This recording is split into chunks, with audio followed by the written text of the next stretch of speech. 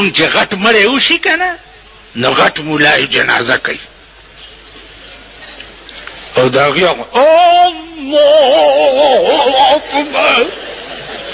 تکبیر هم پرې ډېر غټ وایي ځکه چې سنبه یې غټه پرته ده که نه نو بیا چې دعا کوي په قبر نو دعا وکړئ چې الله پاک دلا اتاړه جنت ورکی. خدای دې کور د میردین جومات کا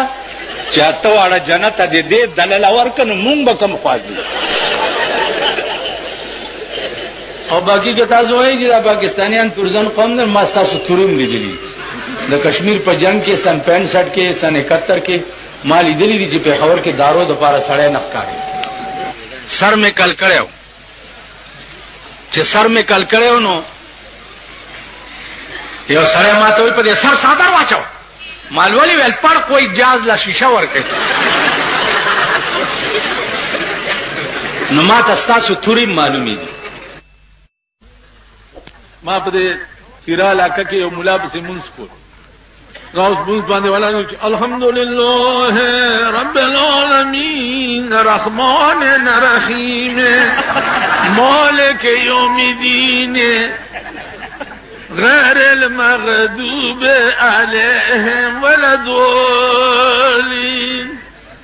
امرګری راته وی چې دا څه کوي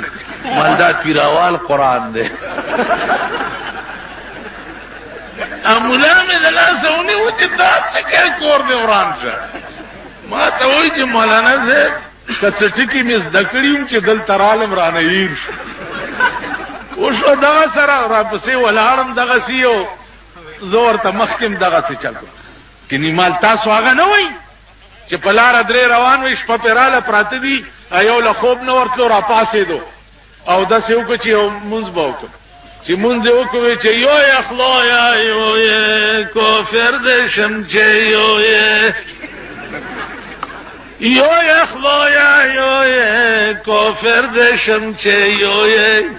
مرګري مې ودی او زه دې یو داوم یو یې خلو یا یو یې